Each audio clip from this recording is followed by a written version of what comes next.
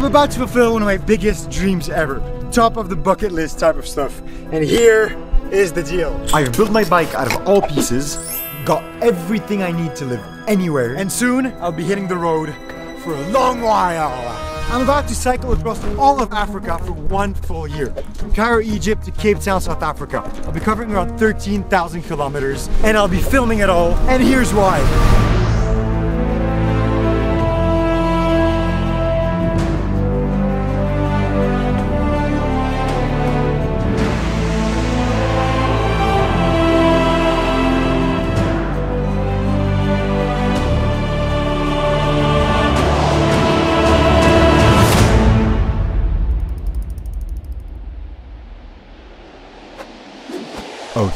A lot of people think Africa is a country, which is kind of sad because it's probably the richest continent on earth in terms of resources, diversity, culture, ethnicities, and history. It's neither part of the eastern nor the western world and is often put on the sidelines. It has fascinated me for as long as I can remember. Africa plays by its own rules, values, and ways of living.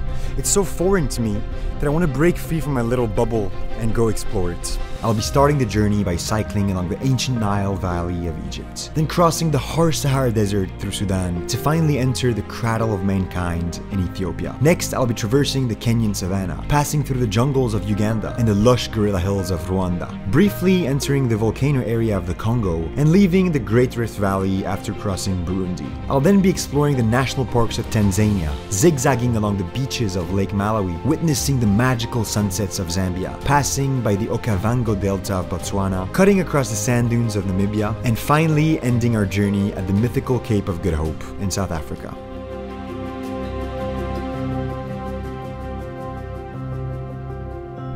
But here's the thing, I've never been to Africa before. The longest adventure I've been on was not more than two months, and last time I owned a bicycle was when I was just a kid. But with Project Africa, I'll be cycling through super rural areas, passing by hectic cities and rock-throwing villages, coping with extreme fatigue and a variety of climates, camping meters away from lions and living with tribes, risking malaria, parasites, diarrhea, and not showering for weeks in the desert. Am I terrified? Yes. but I'm even more excited. So if you're interested in seeing if I'll be making it alive to the Cape of Good Hope, please consider subscribing down below. I need subscribers, man. Come on. Rob, what are you doing with your life, man? Come on, wake up. You're spending all of your life savings to live on the road like a hippie somewhere super uncomfortable and dangerous. Why would anyone do this themselves? Instead of traveling the world and finding yourself, why don't you shut up, find a stable job, and make money like everyone else? Life's already hard enough, dude. It's funny how everyone questions the rebel, but few question the norm. So, why am I doing this? I'll be cycling Africa for three reasons for the adventure, for the stories, and for the impact. My first dream job was to be an explorer, to travel to faraway foreign lands, discover what the world was about and its nature, people, and diversity. I would read Twain, Kipling, Verns, and old National Geographics. I was obsessed with atlases and maps. A bit too much, maybe. This is me crying because my interactive globe broke, but I still had to smile for the photo. At only six years old, my friend Augustin and I memorized all the capital cities, countries, and flags in the world. Supervisors at school were so impressed that they would come with printed Wikipedia pages to quiz us on everything we knew. We literally were the six-year-old school legends at this point. As a young teen, I would organize hikes, camping trips, treks, and adventures anytime I could. I craved the discomfort of being out there. That's where I felt the most alive. I then started getting familiar with photography, writing, and videography. But even though I was proactive, I had barely seen anything outside of my tiny country, Lebanon. There was a whole wide world to explore and learn from, and I was way too curious to just stick to books and a few challenging hikes here and there. The truth was that I was just a young boy regularly going to school and trying to find a way to survive the boredom and conformity that came with it. I like to believe that life can be divided into three phases, and I was still in the first one the phase of obligation. A phase where we usually live with our parents until around 18 years old. We have to obey them, get familiar with the rules and structures of society, and accept the status quo whether we like it or not. Then you have the phase of responsibility that probably looks like this finishing university and starting to work right after. Signing that contract, taking that job, paying the bills, supporting our parents. We spend the few holidays we have seeing our family or having that occasional friend trip to Paris, Cancun, or Bangkok Bangkok. We commit to a partner, then maybe have kids. We pick our responsibilities within the rules and structure of society. And this phase can be awesome if you live it with purpose. But in the 21st century, finding purpose is very hard. A lot of us lack clarity. The world is moving so rapidly. Many of us fall into survival mode and become part of the rat race. Our choices seem infinite, and existential angst is omnipresent. Ah! But in between these two phases, there's one phase that not everybody gets to live, and it's a phase that can also help a lot with finding purpose. It's a phase that I like to call the phase of exploration. And you can live this phase whenever you want, but usually the prime time to do it is the 20s, because that's where you have the most energy and the least amount of money. It's a phase that helps you take better decisions for the rest of your life and optimize your phase of responsibility. And this phase could look completely different for everyone. It could be doing internships in various fields and industries, digging deeper into hobbies, having that side hustle, traveling the world, volunteering, and usually gap years are a very classic and great way to start. Breaking free from the obligations of your early years naturally comes with time. But being able to live with few responsibilities and having the time to explore is a privilege. A privilege you either have or seek, which is not always easy to do, but ultimately it pays off. Exploration is ultimately introspection. It's about getting to know yourself. I've been living this phase of exploration for a while now. I dropped out twice of university, worked in countless different jobs and fields, met so many people, and traveled as much as I could. Learned tough lessons and noticed that often life controls you more than you do, and that you inevitably go through hard times. But thanks to all this, things are more clear now. I'm pretty sure I found what I love doing and my purpose for the next decade or two at least. And now I want to end my exploration phase with an epic expedition. Something that will change my life forever. A project that will take me from point A to point B, figuratively and literally. In the midst of globalization, this will be a search for meaning, a journey throughout history, culture, ideologies, geopolitics, anthropology, and nature. But above all, it will draw a thick line between childhood and adulthood. It's my rite of passage. It's a way for me to disentangle my belief system from the one I was imposed on growing up. It's a way to go beyond what was handed to me by life. And I'm still young, so it's the perfect time to challenge myself physically and mentally. And if I don't choose to destroy my own foundations, life will. It's that whole make your life hard or life will be harder for you mentality that the Stoics would speak about. I was never outside of my comfort zone for this long. So I'm conscious that there's gonna be times where I'll regret doing this and where I'm gonna be like, What am I doing with my life? but with that, I'll always try to remember the intentions I have behind this project. And I hope that will help me push through.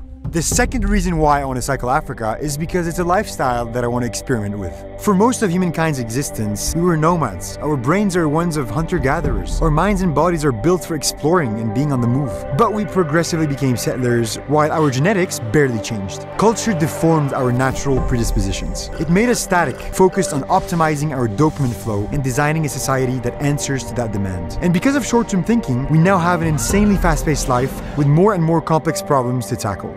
Globalization and greed are erasing culture, nature, and diversity. And above all that, we're constantly overstimulated by new and negative information. So, how do we change this? Well, that's exactly why I want to take a step back. What I'm looking forward with the Africa trip is to just really see what the world's about, you know? And really see what the world needs the most. I want to distance myself from this meaningless hustle, see what's out there, and analyze where and how my work can positively impact the world. There's a sub Saharan African saying that goes like this The rest of the world has watches. But uh, in Africa, we have time. Project Africa will be a slow, raw, and ethical journey. I want it to be minimalist, eco conscious, and human powered.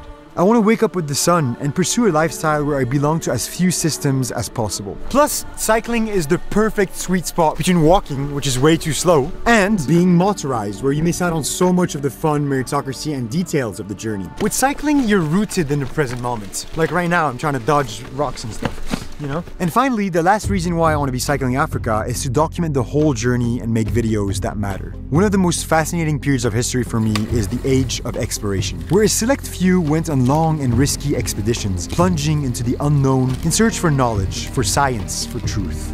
Sociologists, astronomers, biologists, artists, they were all writing and drawing and documenting what they would find out there to make up the archives of humankind. Six centuries later, this is kind of what I'll be doing, but in a modern way, with the use of a camera, a microphone, and a laptop. And with three goals to entertain, educate, and inspire. In addition of making a video for each country I'll be passing by, I also want to be focused on videos that I'll be calling side quests. The side quests will be stories of people, places, and crazy adventures that stand out. Stories that bridge humanity together, break cultural prejudice, promote local tourism, and push the audience and myself to be more open minded, curious, and daring. There's one last pillar I want to be focusing on, and it is sustainability, as you can see behind me. Building a more durable future for our planet and societies is the fight of the century. And I think that the African continent has so much potential that is disregarded. So while crossing it, I want to raise awareness about the amazing initiatives and projects that already exist about education, wildlife preservation, humanitarian causes, and any other of the Sustainable Development global goals. I'm already reaching out to multiple organizations, and with them, I hope to showcase the projects and the people that are making a positive change, and through it, support solution oriented initiatives and grow a community of change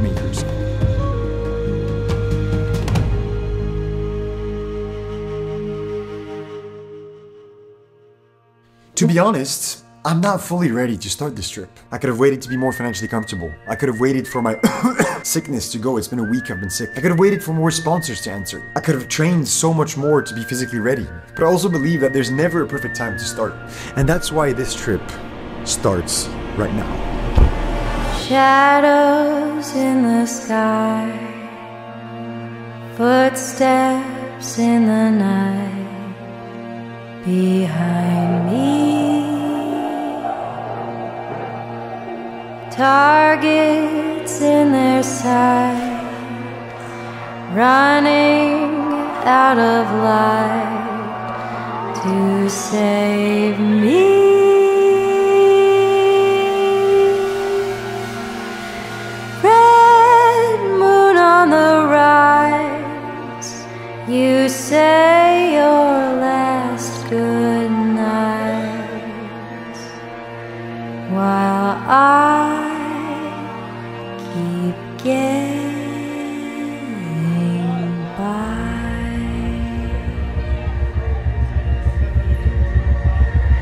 Gripping at my skin, the walls of night closing around me.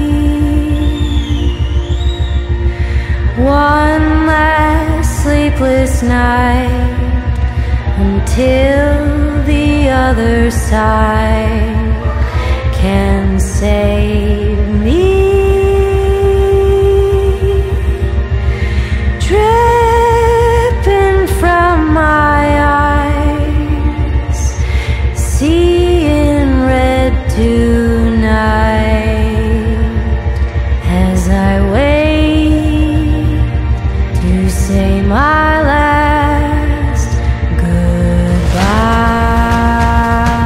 Everything starts with a little push.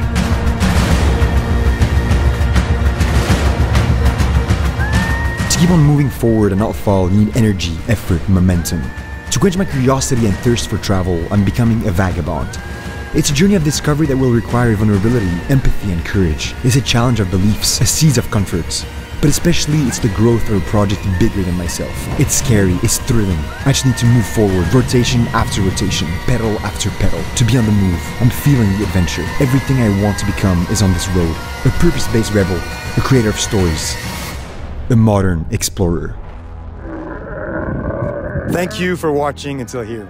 This is not going to be an easy expedition. And so here's how you can help. First, financial support. I work very, very hard on my videos, and YouTube ad revenue is not at all a sustainable source of income. So if you're a corporation or any other entity that is interested in my values and mission, please reach out. It would be incredible to collaborate with you guys. If you're an individual and want to support, I started a Patreon, so I would really appreciate any type of support. And if you have any other questions about the journey, please comment them below. I'll be answering them in a future Q&A that I'll be doing. And we've done a website. It's projectafrica.bike, so you can check it out in the link in the description also. And uh, yeah, that's it. And as you can see, the journey starts very soon. We're in Cairo. Please subscribe, don't forget. I'll see you very soon. Peace out.